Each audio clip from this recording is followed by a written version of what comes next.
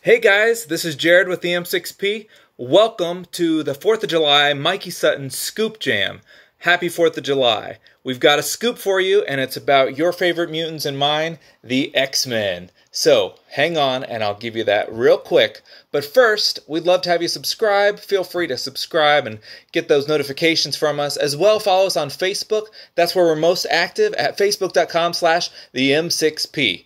Without further ado, let's get to Mikey Sutton's Scoop Jam, courtesy of Mikey Sutton. All right, I'm going to read it for you real quick right from Mikey Sutton. Mikey says Marvel Studios wants to produce a modern orchestral version of the X Men animated series score for their X Men franchise. They realized the beloved show was a gateway for millions of fans into the mutants, and paying homage is of tremendous significance to them. Development for the X Men in the MCU is early, but this is a topic that has been seriously addressed. There won't be a dry eye for the older fans in those theaters. What do you think? They're going to have the X Men animated series intro, the dun dun dun dun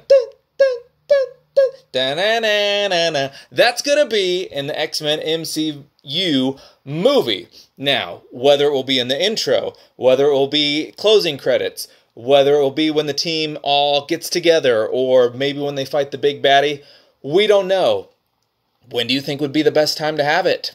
I really could have them playing it the entire movie just in the background. I'd be fine with that. But I want to know what you think.